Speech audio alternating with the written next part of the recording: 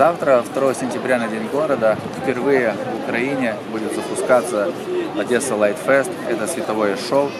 Э, монтируются огромные 10-метровые вышки, которые, на которые устанавливаются проекторы, которые выводят на вот эти два здания э, картины, на Думскую и дальше ближе к колоннады. И с помощью 3D-мейпинга специалисты смонтировали ролики, и это было смонтировано на волонтерских началах, так как в Украине светового рынка абсолютно нет.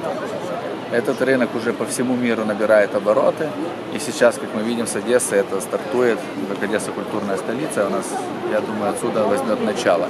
Так как все производные этого, все, этого всего чудеса есть в Украине, начиная от оборудования, грубо говоря, жесткого железа, так заканчивая специалистами, которые монтируют эти образы, делают эти шоу. В принципе, я думаю, будет очень интересно. Я эти ролики видел. Я думаю, что действительно будет интересно посмотреть. Скажите, а во сколько это завтра здесь будет? Это будет с 8.30 до 10. Вечером? Да, это будет, э, может быть, еще уточнить. Э, будет отключаться полностью свет в районе этого квартала. Это останется только звук и свет этих, этого шоу. Это будет как цепочка играть. Это специально останавливает оборудование, которое будет передавать специально, ну, чтобы люди погружались в эту атмосферу. И, в принципе, одни и те же шоу будут транслироваться на четырех проекторах. То есть общая масса будет в захвате одной и том же месте. Скажите, кто вообще организатор этого всего? Зачинщик, идейный автор? Организа... И кто помогал это организовать? Организатором является Татьяна Лоренс. Учитывая то, что было, были выборы на носу, всем было не до организации этих шоу. К сожалению, много тогда взялись, и никто не помог. В этом году она все-таки добилась, она обратилась к э, ряду людей, ну, в том числе, как и мне, чтобы какие-то в той или иной мере помогали это, кто как может, э, вот, кто-то пиаром, кто-то достать документ какой-то, кто-то найти инвестора. То есть получилось такая грубо корпоративная артель, которые, в принципе, захотели помочь хорошему человеку, который пытался вот, донести украинцам, что все-таки в Украине есть все, Э, для продвижения этого шоу. Вообще это шоу можно использовать для донесения каких-то социальных целей. Сейчас это, как на День города, это будет развлекательное шоу про Одессу. А вообще можно нести, это может быть социальное воспитание, культурное воспитание, экологическое воспитание, ну что угодно. Просто монтируется этот ролик и показывается людям.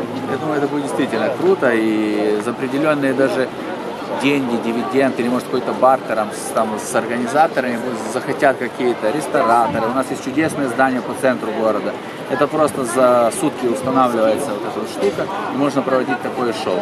Просто, как бы я считаю, почему я за это взялся, я считаю, что главная цель это донести людям, что у нас в Украине это все есть. И зачем терять такую возможность, э, просто развивать это направление и так же самое продвигать свои же технологии, продавать и дальше. Раскрытие с точки зрения безопасности, как э, будет обеспечено? А это все согласовано с городскими властями, все коммунальные службы, которые имеют то или иное отношение, электроснабжение, установки, пожарники, это все согласовано, потому я думаю, с этим проблем не будет. Я являюсь частью команды организаторов, главой комитета фестиваля, первого в Украине фестиваля световых лазерных технологий. А, в первую очередь это работа с фасадными зданиями и трансляция различных световых историй с помощью проекционных техник, техники, специально созданных под данное мероприятие. Учитывая, что мы попали, мы проходим непосредственно на День города а, в рамках празднования, мы создали ряд контента, посвященный тематике Одессы. Общая тема у нас пересечение цивилизаций. А, с помощью которой пересечение цивилизаций, культур, народов. А, Одесса, как самый многонациональный город, нам хотелось показать и подчеркнуть это. И на самом деле это один из немногих городов, если нас во всем мире говорят о толерантности, в принципе, Одессу мы изначально можем называть самым толерантным городом, в котором более 40 национальностей совмещено, классно живут и любят друг друга.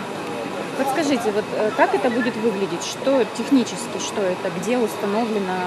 А, в этом году мы проходим не в очень большом объеме. Мы взяли четыре ключевые локации.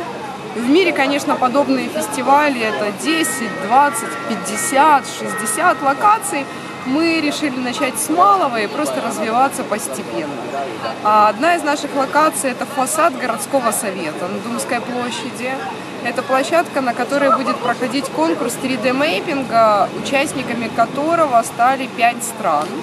Это Польша, Украина, Беларусь, Германия и Арабские Эмираты.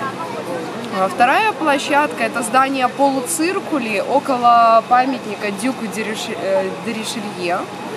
А, эта площадка также для мэппинга. Мэппинг – это проекция на здание, да, все мы знаем кино. Но кино – это плоская картинка. Сегодня мы уже знаем, что такое 3D-кино.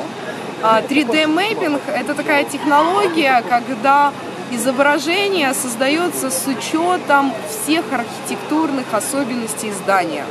Каждой колонны, каждого памятника, э, каждой, ну, то есть всех переходов, соединений фресок. А, соответственно, вторая площадка, вернемся, это здание полуциркуль. В этом году мы взяли только один полуциркуль, планировали на два, но, к сожалению, компания Инкор отказалась покрасить здание фасада, изначально напугав нас очень сильно тем, что они вообще застроят все строительными лесами. Спасибо, что не застроят, и, по крайней мере, здание открыто на День города, это действительно важно. Мы взяли Приморский бульвар 8, а, это будет ряд также 3D мэппинг шоу видеопроекционных и будет конкурс виджеинга. Виджеинг – это VJ live mapping а. Это когда профессионалы, медиа-артисты работают непосредственно в живом режиме на площадке и создают свой контент, вот прямо находясь на ней. А, и также будет еще две локации ключевые. Первая – это инсталляция «Я рисую Одессу», а, нас поддержал Дворец культуры, расположенный в Воронцовском дворце, и предоставил детские работы художественные на тему города. А, мы получим вот такую инсталляцию. И также по Приморскому бульвару, они будут рядышком, Приморский бульвар 2 и 3.